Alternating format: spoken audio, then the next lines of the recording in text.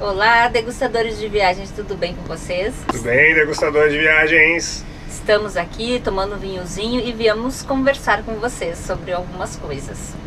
É, a gente está fazendo uma interrupção aí na nossa novelinha para trazer algumas, alguns recados aí para vocês. Esse mês de outubro a gente está completando um ano de estrada, né?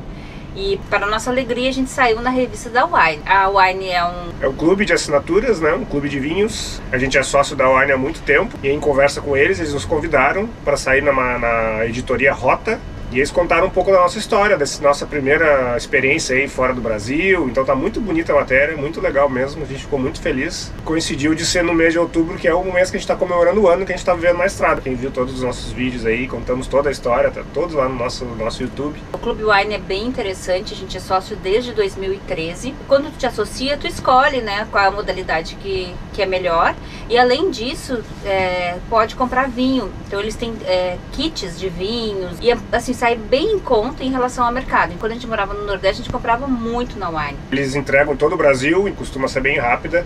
E é um clube assim que quer um pouco desmistificar essa coisa do vinho. A gente gosta muito dessa ideia de que o vinho é para ser uma coisa simples, né? A experiência do vinho não é para ser uma coisa formal, complicada. Não, é, é, é para ser como tomar uma cerveja, uma coisa habitual, é, é para ser descomplicado. O vinho que é bom é aquele que você toma e gosta. Essa é a ideia da Wine, é, sempre foi desde o início descomplicar né, o vinho. A gente acha muito bacana. Nós não somos super entendidos, né? A gente gosta. Não. Nós somos enófilos, né? Somos degustadores de vinhos. E a gente veio convidar Caso vocês tenham interesse, né? A gente faz a indicação, tem o nosso código para identificação e aí a gente ganha um brinde do mês, cada mês vai mudando os brindes e cashbacks, então assim tem algumas vantagens. Caso você queira se associar, aproveitar, né? E fica bom para nós dois. É, vantagens para os dois. Aí a pessoa escolhe qual é a modalidade que quer participar, recebe todo mês em casa, pode ser duas garrafas ou mais garrafas, vem a revista todo mês. A revista traz várias informações sobre os vinhos daquele mês, matérias como saiu a nossa, né?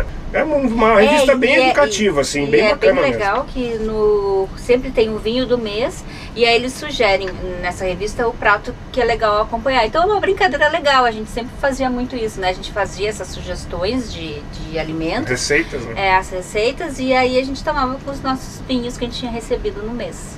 É bem legal.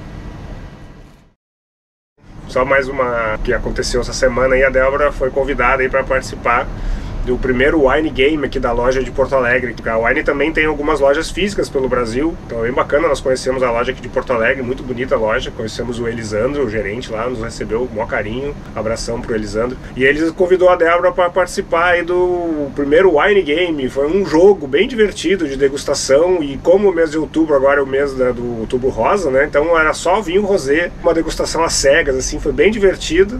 E a Débora, acho que pode contar um pouquinho como é que foi essa experiência, amor.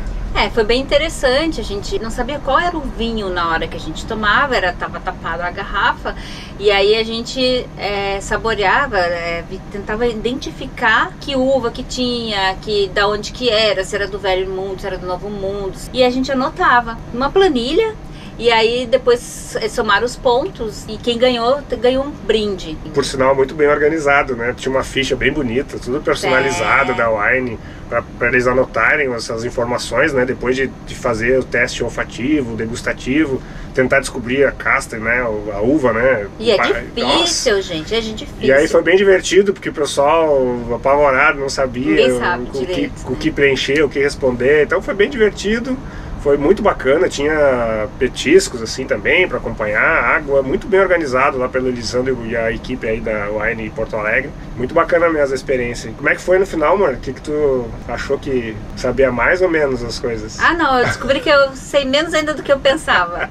A gente vai estudar agora, daqui para frente, para ficar mais craque para próxima. Aproveitar aqui para deixar uma pergunta: vocês gostariam de saber mais sobre vinho? De repente querem que a gente mostre mais os vinhos que a gente degusta, passe algumas dicas? a gente gostaria de saber de vocês. Coloque aí nos comentários. O que vocês acham dessa ideia e de repente trazer mais vinho aí pro nosso dia a dia dos nossos vídeos.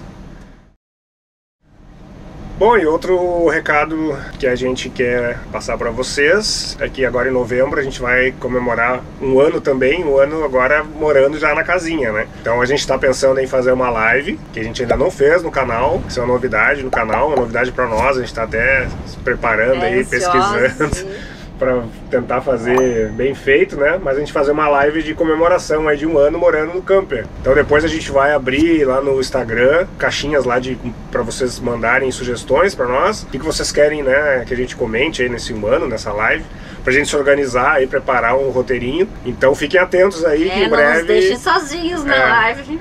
Fiquem atentos que em breve nós vamos começar a divulgar aí, vamos marcar uma data para vocês se prepararem, né, para vocês se programarem para nos, nos prestigiarem, nos dar esse carinho. E a gente fazer uma live bem bacana e bem gostosa aí, contando um pouco de como é que foi esse ano aí morando no camper. É, e as dúvidas, né? Às vezes se tem dúvidas, coloquem tudo lá, porque aí a gente já começa a live com, com o assunto que vocês estão interessados. Então acho que é isso, né? Sim. Nós estamos no Brasil nesse momento, enquanto vocês estão assistindo aí a nossa novelinha no canal. É, não deixem de assistir nossa novelinha. A gente voltou para fazer várias manutenções no camper, no carro, né, na casa.